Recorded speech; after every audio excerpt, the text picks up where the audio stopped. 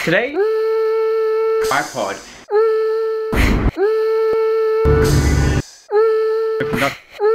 Thing that is fresh. I woke up with my hair blowing in the fan, tickling my neck. It was weird and uncomfortable. But let's continue today. Today is vlog number five. If you guys are enjoying these videos, be sure to smash that like and leave a comment what you think of this video below. And let's get today started, but before we do that,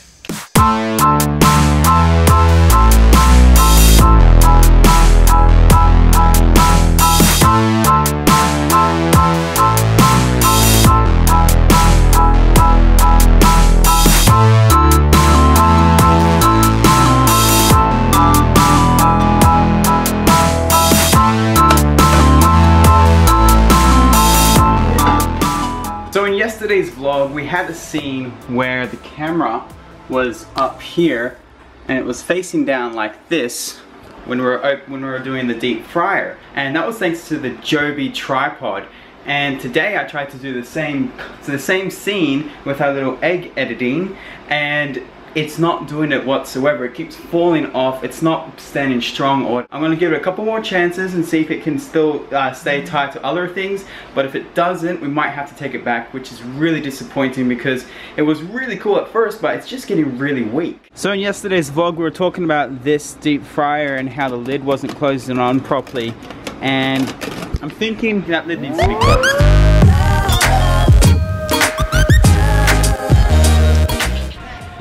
Like deja vu to you guys? Because it feels like deja vu to me. Oh, would you look at this? It's a deep fryer. We need to get a new one because the lid wasn't closing properly. So let's fix that right now. Alright guys, game changer. We just found another deep fryer for the same price. This one is the Bellini, Bellini deep fryer. It's the exact same one as the Target brand one. Sad right now, which one do we choose? Alright, we're gonna get the Target deep fryer instead of the Bellini because it's Target branded. So if there's any problems, we won't have bigger problems taking it back because they're like, okay, this is our problem and not the other company's problem. So we're gonna get the Target one and we're gonna take this home.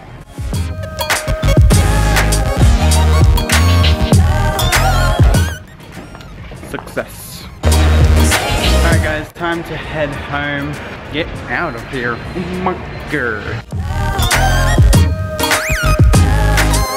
You know, the number one question I get asked from a lot, a lot of you guys is how do I get more viewers? Or how do I be a YouTuber? And how do I have the edge? How do I get views? It's the number one question a lot of you guys ask me. And I want to tell you my thoughts. So when we all start YouTube, the number one thing that is said to any new YouTuber is do not speak of religion and do not speak of politics. But in my opinion, I cannot, I can't do that because religion and politics is what makes this world go around. Because it, it, it's the most debatable topic in the world. A lot of people that don't understand the afterlife and a lot of people that don't understand what's going to happen when we're all dead, a lot of people are going to be like, well, what do we do? You know? And that is why it scares people and that's why people are either really passionate about something or they're really angry and they don't want to talk about it whatsoever. So when I see these questions of how do I get views or how do I start YouTube, all I can say, and this is how I've been doing it, is listen to Jesus. Trust me, Jesus is alive he is around all of us every second and he is extremely powerful. And if you listen to what he says, he has a plan for each and every one of you and it's all different. So at the end of the day, in my opinion, if you listen to what man has to say instead of Jesus, you're going to accidentally or potentially reinvent the wheel when it comes to creativity because man has fear and Jesus has zero fear. My final thoughts are that Jesus is King of Kings and he is our Savior and there is no depression and there is no anxiety when we have God in our hearts and that is what is so important and Jesus is amazing and I can only pray that you guys see the power of Jesus. It is absolutely amazing. And if you guys have any questions whatsoever, be sure to message me on Facebook, Twitter, or you can even ask any questions you want in the comments below. So guys, I never got to show you guys what the actual tripod looks like on the camera. So this is a mirror right here, and as you guys can see, Let me just flip the camera. So as you guys can see, this is what it looks like. And I am disappointed that it does sort of fall off when I try to attach it to some like cupboard. But I do like how easy it is to hold it like this instead of holding it like this.